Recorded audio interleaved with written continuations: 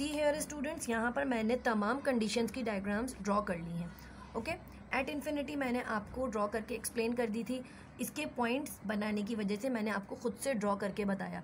But इस तरीके से वीडियो बहुत ज़्यादा लेंदी हो जाएगी तो मैंने यहाँ पर आपके तमाम पॉइंट्स मेक कर लिए हैं और अब मैं इस वीडियो में आपको एक्सप्लेन करने जा रही हूँ। अगर मेरा ऑब्जेक्ट है टू एफ़ के पीछे बिलो फ्रॉम टू एफ़ सबसे पहले कंडीशन में लाइन आई और स्ट्रेट एफ़ से गुजर के स्ट्रेट चली गई। ये पॉइंट एफ़ था एफ़ से स्ट्रेट गुजर कर चली गई first condition second condition two F से पीछे जितना डिस्टेंस होता है, उतना ही सेंटर ऑफ़ कर्वेचर के नीचे तक आप मार्क करके उस लाइन को क्रॉस करते हैं। हमने पढ़ा था कि अगर कोई लाइन स्ट्रेट लाइन आकर प्रिंसिपल एक्सिस से टकराती है तो वो प्रिंसिपल फोकस से तो वो स्ट्रेट चली जाती है। तो अब आप ये देखिए कि ये वो पॉइंट है जहाँ पर ये दोनों चीज़ें, ये दोनों लाइंस कोलाइड कर रही हैं तो इमेज किस तरह बनेगा? इस तरह बनेगा। और इमेज का साइज़ कैसा होगा? ये होगा। अब आप देख सकते हैं कि ऑब्जेक्ट का साइज़ मेरा अगर इतना बड़ा था इमेज का साइज़ मेरा इससे छोटा हो गया है। यही चीज़ आपको बुक में एक्सप्लेन की गई है कि जब आपका object away from two F होगा image is formed between F and two F image कहाँ बनेगी? एफ़ और टू एफ़ के बीच में। तो ऐसी बन रही है एफ़ और टू एफ़ के बीच में बन रही है। Then real inverted and smaller than the object अब मेरी इमेज इन्वर्ट हुई है।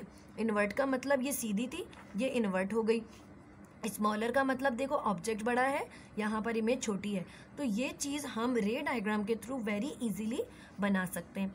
Now see the third condition third condition में कह रहे हैं कि अगर आपका image at F sorry at two F है। अगर इमेज टू एफ़ रखेंगे आप तो सॉरी ऑब्जेक्ट टू एफ़ रखेंगे आप तो इमेज कहाँ बनेगी? एफ़ पे बनेगी। और इमेज का साइज़ कैसा होगा? रियल होगा? सही है रियल इमेज होगी। इन्वर्टेड होगी। इन्वर्टेड मतलब उल्टी होगी। And same the size of the object जितना साइज़ इमेज का होगा सॉरी ऑब्जेक्ट का होगा, उतना ही साइज़ आपकी इमेज का भी होगा। अब आप ये देखिए, यहाँ मैंने एक डायग्राम ड्रॉ की। पहले लेंस बनाया और उसकी focal lens sorry principal focus और टू एफ़ को मार्क कर दिया। ऑब्जेक्ट जब मैंने पूरे टू एफ़ पे प्लेस किया, सबसे पहले स्ट्रेट लाइन गई तो वो कहाँ से गुजर गई? एफ़ से गुजर गई। फिर उसके बाद एक लाइन आपके जहाँ पर जो आपका ऑब्जेक्ट है, आप वहाँ से टकराएँगे, प्रिंसिपल एक्सिस की तरफ़ तो वो लाइन हमेशा स्ट्रेट चली जाएगी। यही आपका रूल नंबर टू है, यही दोनों रूल्स आप हर डायग्राम में रिपीट कर रहे हैं।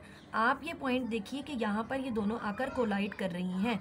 अब ये पॉइंट और ये पॉइंट आप देखिए कि इन दोनों की मेजरमेंट्स सेम आएँगी। इट मीन्स कि आपने, ये भी वन सेंटीमीटर ये भी वन सेंटीमीटर इट मीन्स कि ऑब्जेक्ट जो है, उसका साइज़ इमेज के साइज़ के बराबर है। ठीक है, यही मैंने पढ़ा था अभी। इन्वर्टेड है। इन्वर्टेड का मतलब कि उल्टी बन रही है। लाजमी, जब वो इमेज इस लेंस के सामने बनेगी, वो हमेशा उल्टी बनेगी। Okay students then next condition देखिए। अगर आपके पास एफ़ और टू एफ़ के बीच में हम ऑब्जेक्ट को प्लेस करें, ठीक है? तो इमेज हमेशा away from two F two F से दूर बनेगी। और वो अगेन रियल और इन्वर्टेड होगी, लेकिन इमेज का साइज़ कैसा होगा? बड़ा होगा। अब यही चीज़ मैं आपको डायग्राम में बताकर, बनाकर बता रही हूँ। सी हेयर मैंने बोला कि एफ़ और टू एफ़ के बीच में हम ये ऑब्जेक्ट प्लेस करेंगे। सबसे पहले मैंने क्या ड्रॉ किया कि एक रे ऑफ़ लाइट सीधी आ रही है। जब भी रे ऑफ़ लाइट पैरेलल आती है तो इट कहाँ से टर्न हो जाती है? It dive it refract from principal focus principal focus से रिफ्लेक्ट होकर आगे चली गई।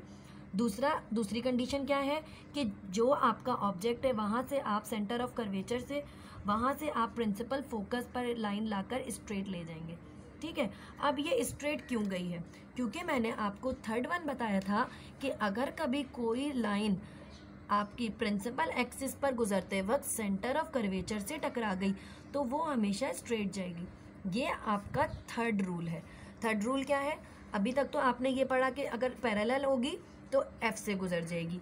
अगर प्रिंसिपल एक्सिस से किसी भी एंगल पर आकर टकराएगी तो सीधी चली जाएगी। थर्ड रूल आपका क्या है? थर्ड रूल ये है कि अगर लेंस में कहीं, कभी भी कोई प्रिंसिपल एक्सिस मतलब इस साइड आते वक्त कोई लाइन इस ऑप्टिकल सेंटर से टकरा जाएगी तो वो जिस एंगल से भी आ रही है, उससे स्ट्रेट चली जाएगी। अगर वो इस एंगल से आकर इस ओ पर टकराती है तो वो इधर चली जाएगी।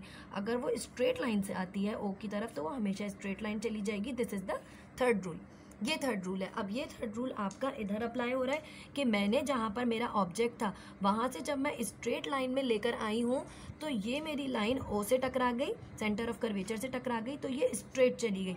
और जब ये स्ट्रेट गई तो मैंने इन लाइन्स को जब मज़ीद एक्सटेंड किया तो देखा कि ये मेरा इमेज इधर बन रहा है। And this is greater than my object ये इमेज जो है, वो वन वन पॉइंट सिक्स है और मेरा जो ऑब्जेक्ट है वो कितना है? वन है। So it is greater than image किससे बढ़ गया? ऑब्जेक्ट से बढ़ गया। यही चीज़ हमने इस कंडीशन में पढ़ी थी कि image larger than object see the last condition between principal focus and the optical centre जब मैं ऑप्टिकल सेंटर और जो एफ़ है मेरा पॉइंट उसके बीच में रखूँगी तो क्या होगा? जिस साइड पर मेरा ऑब्जेक्ट होगा, उसी साइड पर डायग्राम बनेगी। लेकिन वो डायग्राम कैसी होगी, इमेज कैसी होगी अब वर्चुअल होगी। वर्चुअल मतलब रियल नहीं होगी। अब तक सारी रियल जा रही थी। मतलब स्क्रीन पर हम उसको देख सकते हैं। अब जो डायग्राम बनेगी, रे डायग्राम जो इमेज बनेगा, वो कैसा होगा? वर्चुअल होगा। अपराइट अपराइट का मतलब सीधा होगा। ये सारे कैसे थे? इन्वर्टेड थे। देख रहे हैं आप? ये सब नीचे की तरफ़ बन रहे थे। अब क्या होगा?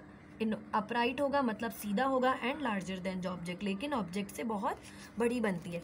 अब ये डायग्राम भी देखिए, मैंने यहाँ पर बनाई कि अगर आपके पास सेंटर अच्छा ये मैं आपको ड्रॉ करके बता देती हूँ। ओके स्टूडेंट सी हेयर मैंने यहाँ पर कॉन्वेक्स लेंस ड्रॉ किया है, ठीक है?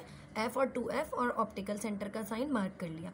अब आपको कह रहे हैं लास्ट कंडीशन में कि अगर आपके पास ओ और एफ़ के बीच में ये ऑब्जेक्ट प्लेस हो ठीक है? तो अब सबसे पहली कंडीशन मैंने इस पर क्या अप्लाई की? कि प्रिंसिपल फोकस प्रिंसिपल एक्सिस से अगर कोई लाइट रे टकराती है, किससे गुजर कर जाती है वो? एफ़ से गुजरती है। तो मैंने इसको ड्रॉ कर दिया। ठीक है? सेकंड वन आपके पास क्या होता है कि आप इसको प्रिंसिपल एक्सिस से टकराएँगे। अब जब मैं इसको प्रिंसिपल एक्सिस तक लेकर जाऊँगी तो वो ऑफ़ कोर्स ओ से टकरा जाएगी और जब ओ से टकराएगी तो वो फिर मुझे लाइन स्ट्रेट लेकर जानी होगी। ठीक है? आप ये देखिए कि जब मैं इनको जितना भी एक्सटेंड कर दूँ, आपको नज़र आ रहा है कि ये दोनों रे डायग्राम्स कभी भी नहीं मिलेंगी तो हम क्या करते हैं, इसको बैकवर्ड डायरेक्शन में बढ़ाते हैं। मतलब मैं इसको इस साइड से एक्सटेंड करूँगी, इस वाली रे लाइन को, और इस वाली लाइन को भी हम यहाँ से एक्सटेंड करेंगे। हमने जब इसको अपोजिट डायरेक्शन में एक्सटेंड किया तो हम देखेंगे कि कोई ना कोई एक पॉइंट ऐसा आता है जहाँ पर ये दोनों आपस में टकरा रही होती हैं ठीक है? तो हमने देखा कि ये वो पॉइंट है ऑलमोस्ट ये वो पॉइंट है जहाँ पर मेरी ये डायग्राम ये लाइंस जो हैं आपस में टकरा रही हैं। सो so, अब आप देख सकते हैं कि जब मैं अपने ऑब्जेक्ट को एफ़ और ओ के बीच में रखती हूँ तो इमेज लेंस के इस साइड नहीं बनता बल्कि लेंस के अपोजिट साइड उस साइड पर बनता है जहाँ पर ऑब्जेक्ट प्लेस होता है। ठीक है? इमेज साइज़ कैसा है? इमेज टाइप कैसी है? वर्चुअल है। वर्चुअल एंड अपराइट अपराइट का मतलब ये भी सीधी है, लेकिन लार्जर देन ऑब्जेक्ट इमेज क्या है? ऑब्जेक्ट से बड़ा है। ओके स्टूडेंट्स यहाँ तक मैंने आज आप लोगों को क्या समझाया है कि कॉन्वेक्स लेंसेज से बनने वाली images. Next पेज पर देखिए, the ray diagram shows that as the object is moved towards the lens, the image becomes bigger and further away. अब हमें रे डायग्राम से क्या पता लगता है कि जब भी ऑब्जेक्ट को हम मूव करते हैं लेंस की तरफ़, आपका, आपकी इमेज बड़ी होती रहती है। यही एक फीचर है कॉन्वेक्स लेंस का कि कॉन्वेक्स लेंस के हम ऑब्जेक्ट जितना भी करीब लेकर जाते हैं तो वो ऑब्जेक्ट को छोटा करता रहता है और इसीलिए ऑब्जेक्ट रियल होती है और वो हमें फिर स्क्रीन पर नज़र आती है। A film projector uses a convex lens to form a magnified real image on the screen और जो हम प्रोजेक्टर्स पर देखते हैं, वो किस चीज़ के थ्रू देखते हैं? By means of this convex lens मेरी बात थोड़ी सी समझ में आई? फाइनली मैं समराइज इस तरीके से करती हूँ कि हमने कॉन्वेक्स लेंस की इन रे डायग्राम से हमें क्या पता लगा कि हम जैसे जैसे अपने अपने ऑब्जेक्ट को इस लेंस के करीब करते हैं तो हमें इमेज कैसी मिलती है? रियल मिलती है और छोटी मिलती है।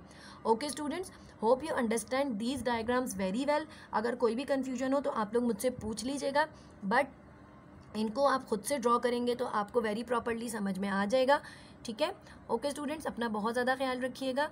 एंड अल्लाह हाफिज़ टू ऑल